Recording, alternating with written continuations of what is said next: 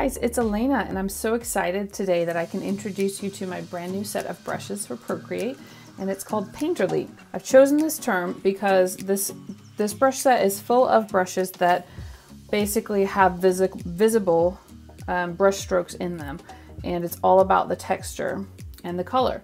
So I'm really excited to dive right in. This brush, th this video is for anyone who has bought the brush set um, anyone who is interested in just browsing to find out what's in the brush set as well. So I will go ahead and start by showing you how to load brushes in Procreate. And I do have a much uh, more detailed video about this that I will link to up in the top right corner if you need more help with that. But just briefly, once you have downloaded the files um, from wherever you have bought them from, Creative Market, Gumroad, Etsy, etc., um, they will be on your iCloud Drive downloads. And if you've downloaded from Dropbox, which will be those of you who have bought from Etsy, um, it could go into the On My iPad folder as well. But um, generally, it will go into your iCloud Drive downloads folder. And you'll see that it's a zip file. And now that uh, iOS uh, 13 and 14, they support zip files. We don't need any of the third-party apps anymore. So if your zip file is opening up in a third-party app, you just want to go ahead and delete that app because you don't need it anymore and it could cause a lot of errors. So you want to just do this within the Files app. And the zip file here, you just tap on it and then it gets unzipped. So then tap on that folder and you'll see that within this folder, there are two brush set files. There's the canvas and texture and the Painterly brush set. And then all the rest of these are swatches. And I've, I've got a lot of swatches included that are based on um, classic painters like Monet and Renoir and Van Gogh. And to open these in Procreate, you should just be able to tap them and get that little import button. And then the swatches will go into your palettes. And then you, you just scroll down and they should be at the, they should be at the bottom, actually. They'll go straight to the bottom. So when you load brushes, they go to the top. When you go load swatches, they go to the bottom. So anyway, that's how to load the swatches. This is the one I just loaded. So I'm gonna go back to my files and show you how to load the brush set. I'll just go ahead and tap on the Painterly. You might get a little bit of a waiting thing there, especially if um, you have a slower, older iPad, but just give it time and it should load and then just scroll down on the brush list and then it should be there at the top and I've actually got two because I already had this loaded so I'm going to go ahead and delete that. Okay so the two different brush sets included are the canvas and texture and the painterly and the canvas and texture is just it's not ones that you paint with these are pattern brushes so that's why I've separated them to make it a bit more clear and easy to get to the brushes that you want within the other set. So what you do with the canvas, we've just got a couple different varieties of canvas. I really like the clay board, and that's actually what I really like that one. It's got a really nice texture. But then we've also got some some different kinds of canvas. This is the linen canvas. So the way that you would apply this is that you apply it on a new layer and most people make this layer above everything in their, their Procreate uh, document. Um, in this one, I've actually made the canvas layer in between. Some, some of the painting is down here, some of it's up here. Um, I'll actually show you why here. Turn that one off. Okay, so, so this one has got, for instance, right here you can see the canvas is over top. And right here, it's the painting that's over top. So it's kind of up to you if you want your, um, your brush strokes to just really stand out on top of the canvas or if you want them to sort of have the canvas marks on it already. So that's completely up to you, but I'll show you how to apply a canvas. Okay, so I've got this new layer that I've made and tapping on the N, you can go up and change the blend mode to multiply. And you can also change the opacity, but we'll look at that in just a minute after I put the canvas texture on. And actually, let me just, yep, those are turned off. Okay, so we have no canvas texture right now. So I'm gonna go ahead and show you the standard canvas. And just so you know, I do have a large version of most of these, and this is just depending on what size your document is. So if you're making a really big, you know, 16 by 20 inch piece of artwork that is going to print out at that size, um, you'll want to use large. But for, for smaller pieces, like this one is 3000 by 2000 by 2000 pixels, just standard is fine. So I'm going to choose the standard canvas. I have black selected in my color palette, very important. If you choose like a white, then nothing at all shows up really. So double tap here for black and then just cover that whole screen. And I've got this turned all the way up. And so you can see I've got this nice canvas texture in here. And you might want to leave it like that, or if that's a bit too harsh, you can go and tap the M here, change the opacity so that it's not quite as visible. So you can see that's barely there. So that is the canvas texture. And below all of these different canvas textures, I've got some rather special ones. I've got primed canvas one and two, and then I've got add stroke texture, and then a large version of that, and then add swirl texture. And these primed canvas ones are, I'll show you what they look like here. I want to go ahead and clear that one, and I'll go ahead and put this in here just so you can see what it looks like. Okay, so this puts in a texture that looks like it's sort of been painted on already. And, and I call it primed canvas because it's like if you have spread the canvas with gesso or um, made it ready with some texture. And there's two different versions of that. I can show you another um, piece that I've made to show you how it looks on a piece. So here's where I've, I've put one of my primed canvas textures on here. And you can see that it's got a little bit of canvas texture to it. Um, it's also just looks kind of like gloopy paint. This is how it looks without it, and that's how it looks with. Okay, and so that's the primed canvas. And then I'll show you actually the other ones on this piece here. Um, so you can see this flower here has got some nice texture to it. And I've added that. Let me go ahead and turn it off. So that's how it looks without. And I've added that texture with the add swirl texture down here. So I'll just show you how I did that. Just make a new layer. Multiply. And I've got black chosen and, oops, make the brush kind of small so I can control it a bit more. You can just add a bit of texture on here if you want it to look particularly textured. And you can do this with any specific areas on your canvas where you want to have a bit more of a focus or you just want to have a bit more texture. And I think for me that looks a bit harsh. So just like with the canvas layers, you can tap this M and then take the opacity down until you're happy with how it looks. So that just gives this a bit of extra texture. However, the brushes do have quite a lot of texture built in. So let's go ahead and move on to the brushes. So that was the canvas and texture. And now we're moving on to the Painterly brush set.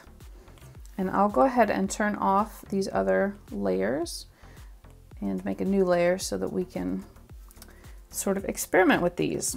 So the first five brushes are the Impressionist brushes. And these have a natural color changing ability to them. If you're familiar with my, my alcohol ink brushes, then you will be familiar with this concept. Um, but basically, what you can do with these they have a lot of color built into them, like there's a natural variation when you just make a stroke with them. You can see that there's a color variation here. Um, but you can also do a secondary color. So I've got a blue and a red chosen, and in order to choose a different secondary color, you can just go, I'm gonna go ahead and choose this here.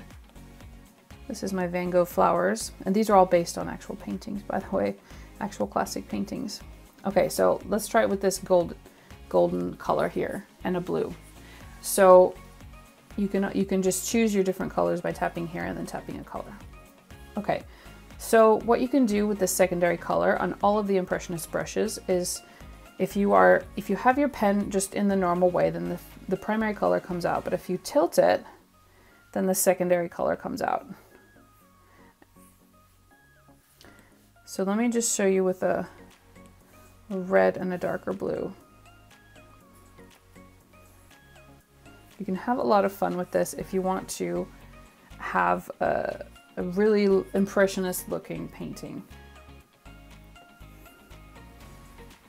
And the tilt, a lot of people have asked me about this.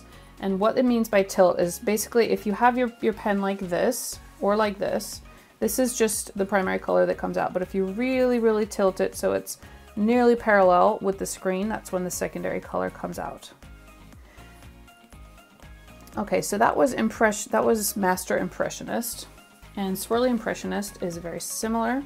It has a texture in built into it, like that.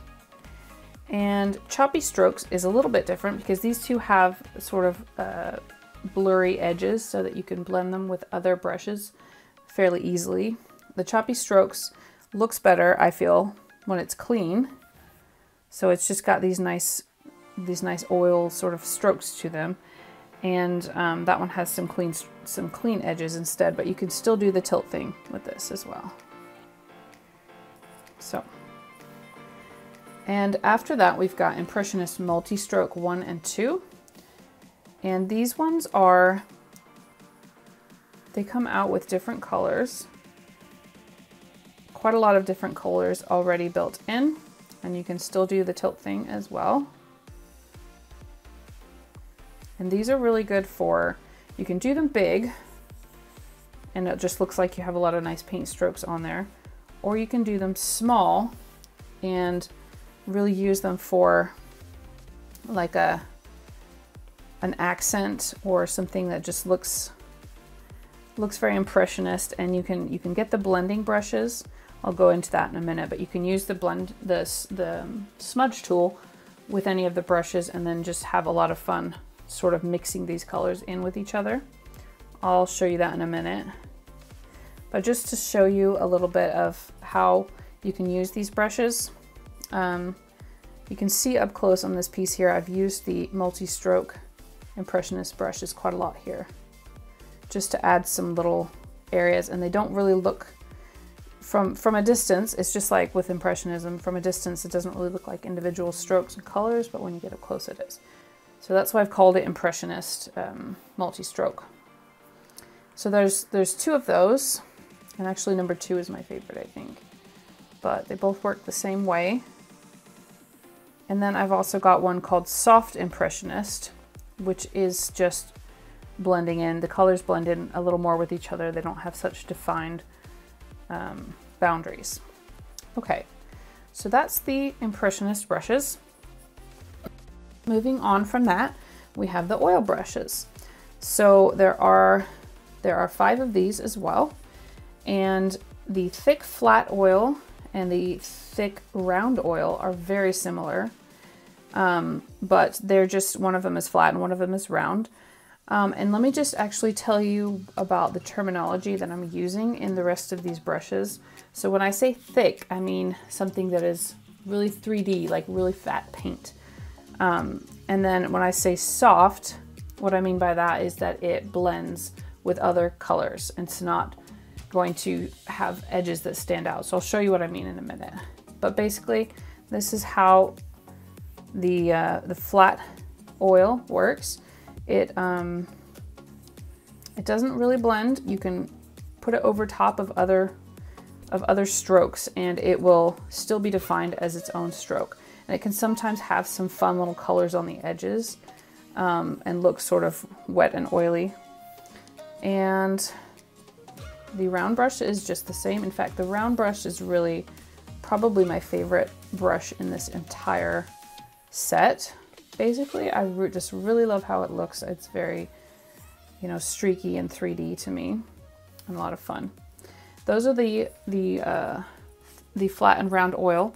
The soft oil is not as 3D, but it's great for mixing. So I'll just show you how the mixing works here. It's really nice for just if you lay down some texture with, with these ones, for instance, then you can, you can have some fun with the soft oil mixing along the edges a little bit.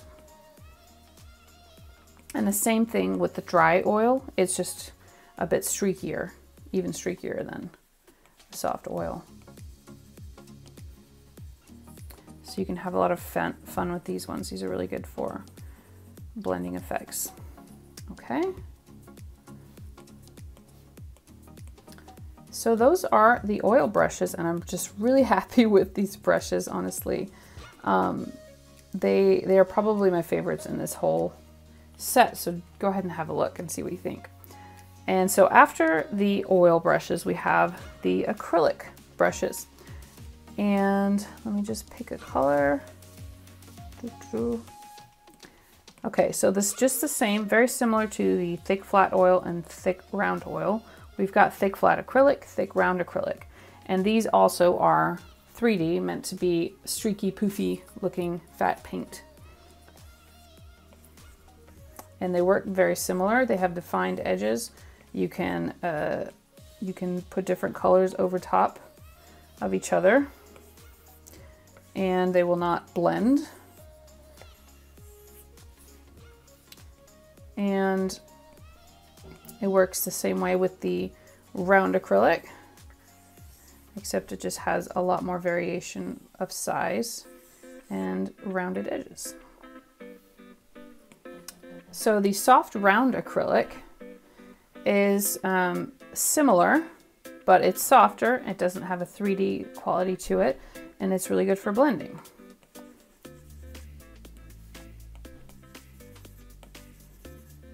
And it still has some streakiness to it. The soft flat acrylic, the same thing. Some streakiness, not as 3D, great for blending.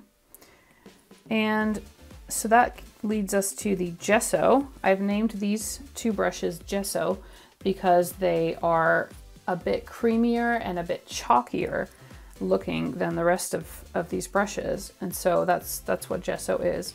It's a lot uh, more textured. So let me just pick a color. I've got a round version and you can see how creamy that is. These are really good for, for smudging with, but I'll show you that in just a minute. And there's the flat. Very similar. Really love these ones as well. That is really big. So,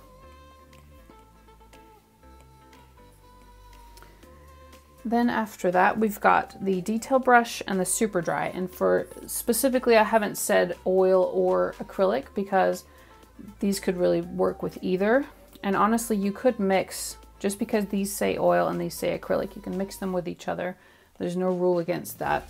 Um, so be sure and experiment with that and, and just see what works best for your process. But the detail brush is just more about making details. So if you have to, you know, draw something really small and detailed, but you still want it to look like paint, that's what this brush is for. And then the super dry is just kind of a fun one. Really dry looking paint that comes out of this. Okay, and now comes the palette knives. So the palette knives, we've got all the way down to here. We've got a couple, uh, several different varieties, and um, it's not as much about the shape, it's more about the quality of each one. That's why I have so many different varieties. So this first one called a palette knife, it is just a very basic laying down of solid 3D looking color. So you can see it's got, it's really good with these like short strokes like this, laying down different colors. And it's solid, it doesn't blend.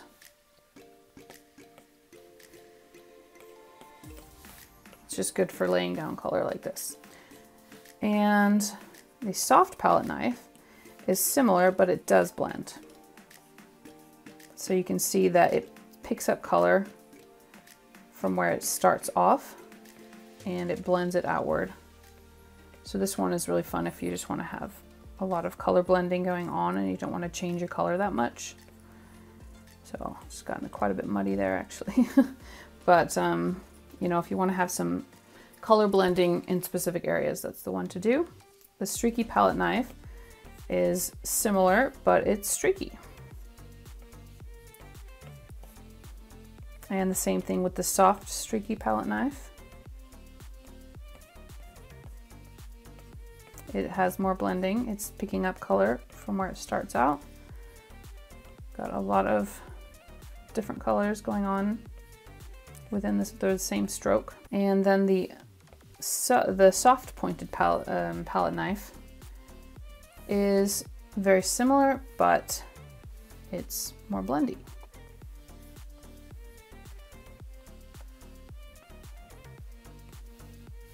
So anyway, you can have a lot of fun with those.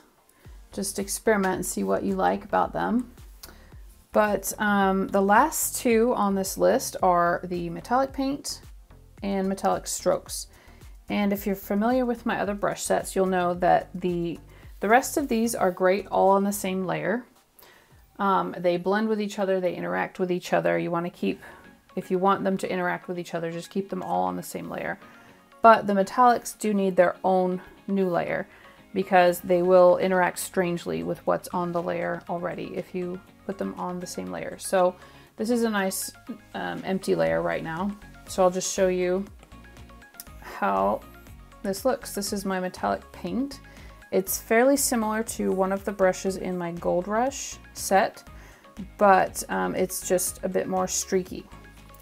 And if you want a really, really nice solid gold, you can go to the Renoir River and choose the second to the last golden color over here, and then you get a really nice gold coming out. And the metallic strokes is just some fun stroke, paint stroke texture. I'll actually put this back on so I can show you. It's This is here over in the corner, so you can have kind of a fun some fun painty effects with this brush. So um, something that I wanted to cover as well is that you can use the smudge tool with most of these brushes, particularly the acrylics and the palette knives and the gesso. So not so much the oil, it looks a little bit funny, some of it, because it has some special blend modes in it. Um, but you can to use it, all you need to do is just go to the smudge tool instead of the brush tool, tap that, and then make sure that you're on the right uh, brush set right here. And then you can just choose a brush and smudge with that brush. And so what that means is that you you just move around whatever's on the layer that you're working on rather than putting anything new on the layer. And if you're familiar with my alcohol ink brush set, I've actually made some specific blending brushes that go with that set. I have not done that in this set because they work great with the smudge tool. So um, I'll just show you, uh, one of my favorites with the smudge tool is the flat gesso. And I'm just gonna go to one of my art layers and just kind of show you how it works. You can have a lot of fun with this brush and just drag all the colors. So it's a really fun way to have these streaks come out in different colors depending on where you start with. You can have a lot of different colors in that streak if you're using the smudge tool. And that was the flat gesso. You can also do this, it looks really great with the acrylic, the flat acrylic, the round acrylic. Oops, that was really big. Can come out really fun Get some nice, nice juicy brush strokes out of that as well. So this one is a lot of fun. It's, it's, it's really fun to just sort of mix around. You can see I've done a lot of mixing here with this. And this is really where that impressionist multicolored look can come through. So one more thing I wanted to show you is that you can actually create a drop shadow if you want to on some of these brushes. So specifically the oops, the, um, the thick acrylic or the palette knives. Um, I don't think it really looks good on any of the rest of it. And it's not really necessary because I have built-in shadows on these brushes. You can see the darkened edge. So these are all meant to look like they have shadows already and to already have that dimensional quality to them. Um, but if you wanted to go ahead and put an extra shadow on it, so for instance, let's say this, this part right here, we want that to have a bit of extra shadow. Duplicate that layer and then go to the one below it tap it again and tap Alpha Lock. And then you need to have black selected over here. But go ahead and, if as long as you have black selected, go ahead and tap it again and then tap Fill Layer. So now basically you have a black version of what was above here, right below it. And then you can zoom out, press your arrow here, and then tap. Probably about two taps on the on the side, whichever side you want the shadow. So I'm just gonna go like that, two taps. And then if you zoom in, you can see there is a very, very faint shadow behind um, behind these, these brush strokes. And this is kind of similar to what you will get on ArtRage, for instance. Um, and I don't think it's really necessary, but if you want it to really stand out, then this is what you can do. So I'm just gonna go ahead and delete that again. So that was my Painterly brush set and I hope that you enjoy it and be sure and let me know if you have any questions or any suggestions for tutorials you wanna see with this brush set. Um, I would be very happy to do that. I know I have a lot of sort of classical painting tutorials planned. Like I would love to do a um, Van Gogh version of the uh, Starry Night, something like that, inspired by that.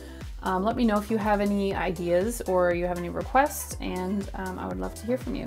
But I hope you like it, and I hope that this was helpful. Thank you for watching.